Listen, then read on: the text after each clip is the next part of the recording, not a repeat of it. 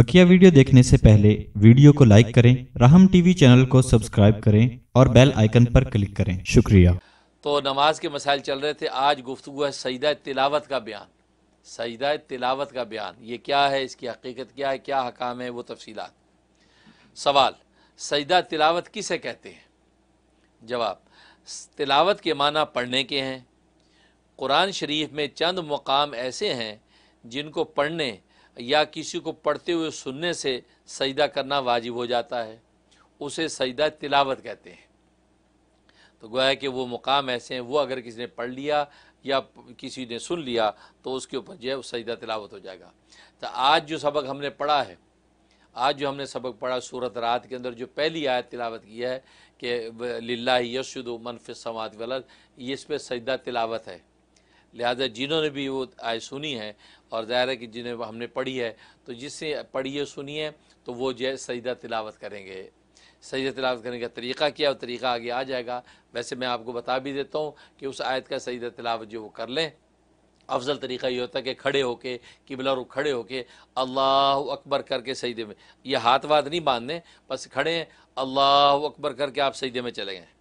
सजदे में चले गए सजदे में जाके आपने तीन मरतबा कम से कम सुबहान रबी आला सुबहान रबी आला सुबहान रबी आला पढ़ लिया। कम से कम तीन मरतबा। ज़्यादा ज़्यादा आप कोई भी ताकत पढ़ सकते हैं। पाँच है, सात है, नौ है, ग्यारह है, पढ़ सकते हैं। पढ़ने के बाद फिर अल्लाह अकबर करके खड़े हो जाएँ। अफजल मुस्ताब तरीक़ा यह है तो सजदा तलावत आपका अदा हो गया।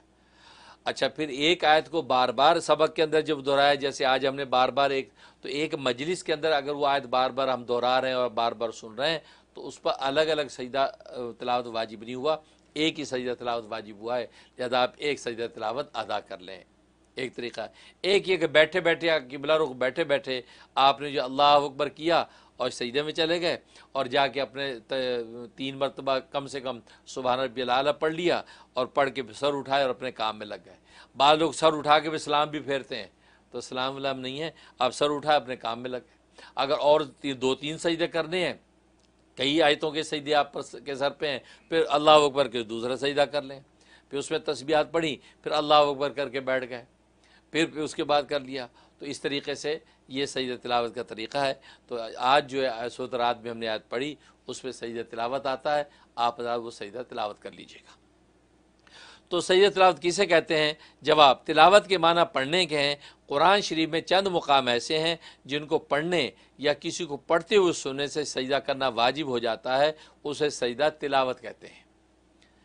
दूसरा सवाल वो कितने मुकाम हैं जिनको पढ़ने या सुनने से सजदा करना पड़ता है? जवाब, तमाम कुरान मजीद में चौदह मुकाम हैं। चौदह मुकाम पूरे कुरान मजीद में हैं, जिनको चौदह सजदे भी कहते हैं। लिहाजा सजदे की आयत का लफ्ज़ लिखा होता है सजदे। चौदह सजदे भी कहते हैं। सवाल, अगर नमाज़ के बाहर सजदे की आयत पढ़े तो किस वक्त और किस तरह सजदा करे? नमाज़ में नहीं है, नमाज़ से बाहर है। जैसे आज हमने पढ़ी वो आयत तो अब वो किस तरह, किस वक्त करे? जवाब, बेहतर तो यही है कि जिस वक्त सजदे की आयत पढ़ी, उसी वक्त सजदा कर ले। बेहतर तो यही है। लेकिन अगर उस वक्त ना किया, जब भी कोई, जब भी कोई गुनाह नहीं हुआ हाँ ज़्यादा ताख़ीर करना मकरू है।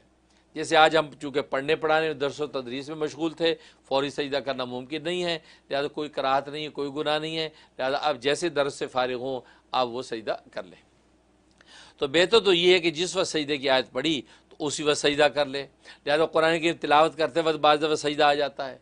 तो बेहतर यह कि कुरान करीम की रहल एक तरफ़ की, उस वक्त अल्लाह अकबर करके सजदा कर लिया, सर उठाया, फिर कुरान आगे के पढ़ना शुरू कर दिया। बेहतर ये होता है, वरना रह जाता है आमतौर पर और नमाज़ से बाहर सजदा करने का बेहतर तरीक़ा यह है कि खड़े होकर तकबीर कहता हुआ सजदा करे। खड़े होकर तकबीर कहता हुआ सजदा करे, फिर तकबीर कहता हुआ उठ खड़ा हो। तकबीर क्या तो फिर खड़ा हो जाए। लेकिन अगर बैठे ही से, बैठे ही से सजदे में गिर गया सजदे सजदे में गया और सजदे से उठकर बैठ गया, जब भी सजदा अदा हो गया, जैसे मैंने बताया, बैठे बैठे भी सजदा किया और उठ के बैठ गया तो भी अदा हो गया सही है।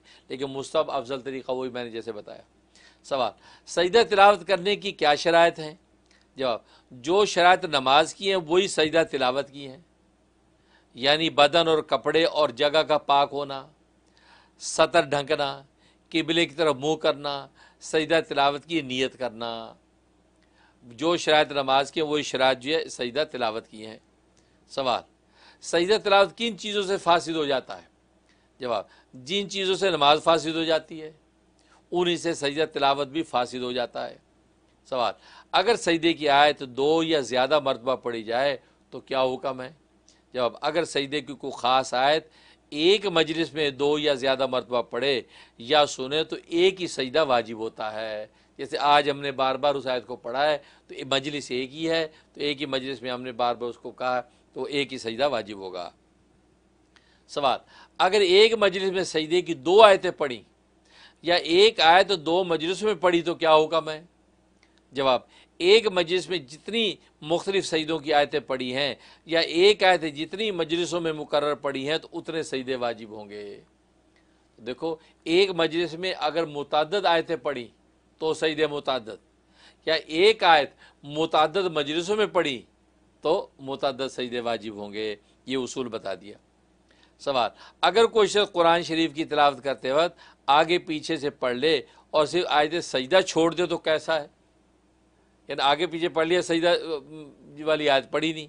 जब अब ऐसा करना मकरू है, और आमतौर पर हमारे लोगों में ये रिवाज होता है कि वो आयत को छोड़ देते हैं। छोड़ देते हैं कि सजदा जो तलावत वाजिब ना हो जाए।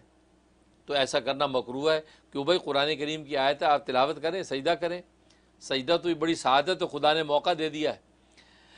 सवाल, अगर तिलावत करने वाला ऐसी जगह तिलावत कर रहा है कि वहाँ और लोग भी बैठे हैं तो वो सजदे की आहिस्ता पढ़ ले और लोग ना सुन सके तो कैसा है? होता बस औकात बहुत से लोग बैठे ये तिलावत कर रहा है और ये चाह रहा है कि मैंने अगर ऊँचा पढ़ा तो ये लोग सुनेंगे और ये सजदा तिलावत, इन पर भी वाजिब हो जाएगा। हो सकता कोई सजदा करे, कोई ना करे, कहीं गुनागार ना हो तो ये फिर वो सजदे की आयत को ऐसा पढ़ता है। उसके बारे में क्या हुक्म है? जवाब दे रहे हैं। जवाब जायज़ है, बल्कि बेहतर यही है कि आहिस्ता पढ़े। क्योंकि ज़ाहिर है कि आपके ऊँचा पढ़ने से उनके ऊपर सजदा तिलावत वाजिब हो जाएगा। बाज़ वो कर पाएँगे, बाज़ नहीं कर पाएँगे, या बाज़ को पता ही नहीं होगा कि मुझे सजदा तिलावत वाजिब हो गया है, क्योंकि आजकल मसाइल शरिया कहाँ पता होते लोगों को? या उस बेचारे को ये पता ही नहीं कि आय सजदा तिलावत की है। ये बड़ों बड़ों को याद नहीं होता कि सजदा तिलावत की याद पड़ी है। तो बड़े मसाइल हैं। इसलिए कहते हैं, बेहतर यह है कि आहिस्ता पढ़े ताकि वो किसी किस्म के गुनाह के अंदर मुबतला ना हो। बीमार की नमाज़ का बयान। सवाल, बीमार के लिए किस हालत में बैठकर नमाज़ पढ़ना जायज़ है? एक बीमार आदमी है, वो नमाज़ पढ़ना चाहता हो तो बैठ के किस हालत में कर सकता है? जवाब, जबकि बीमार में बिल्कुल खड़ा होने की ताकत ना हो, या खड़े होने से सख्त तकलीफ़ होती हो, या मर्ज़ के बढ़ जाने का अंदेशा हो, या सर में चक्कर आकर गिर जाने का खौफ हो, या खड़ा, खड़े होने की ताकत तो है, लेकिन रुकू सजदा नहीं कर सकता तो इन सब सूरतों में बैठ कर नमाज़ पढ़ना जायज़ है। तो ये सब उज़र हैं इस हालत में बैठ के नमाज़ पढ़ सकता है। फिर अगर रुकू सजदा कर सकता है तो रुकू सजदे के साथ और नहीं कर सकता। हाँ, फिर अगर रुकू सजदा कर सकता है तो रुकू सजदा के साथ और नहीं कर सकता तो रुकू सजदे के इशारों से नमाज़ पढ़ ले। रुकू सजदा अगर कर सकता है तो रुकू सजदा करे।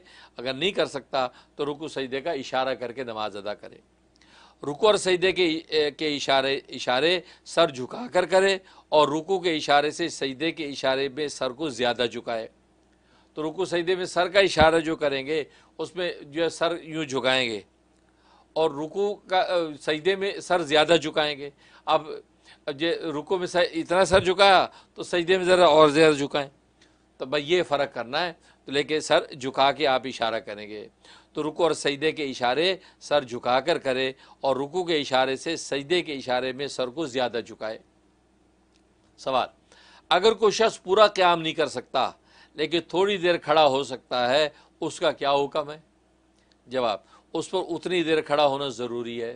थोड़ी देर खड़ा हो सकता है, सांस फूल जाती है या घुटने दुखने लगते हैं तो जितनी देर खड़ा हो सकता है, खड़ा हो, उसके बाद बैठ जाए।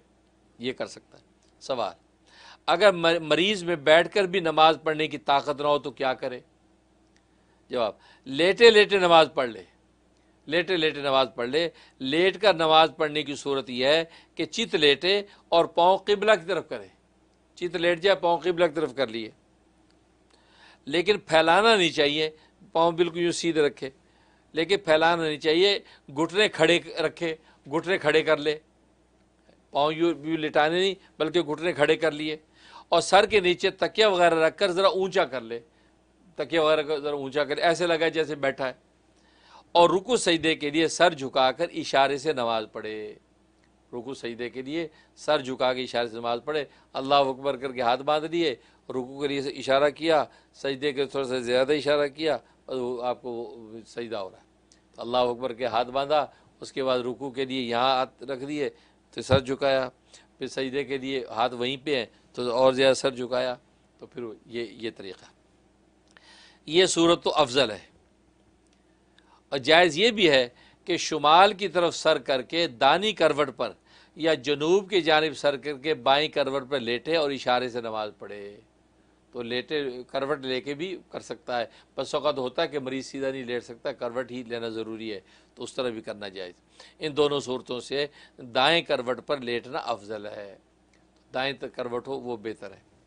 सवाल, अगर बीमार में सर से इशारा करने की भी ताकत ना हो तो क्या हुक्म है? जवाब, जब सर से इशारा भी ना कर सके तो नमाज़ मौखर कर दे। अगर सर का इशारा भी नहीं कर सकता तो फिर नमाज़ मौखर कर दे, बाद में पढ़े। फिर अगर एक रात दिन से ज़्यादा उसकी यही हालत रही तो छुटी हुई नमाज़ की कज़ा भी उसके ज़िम्मे नहीं।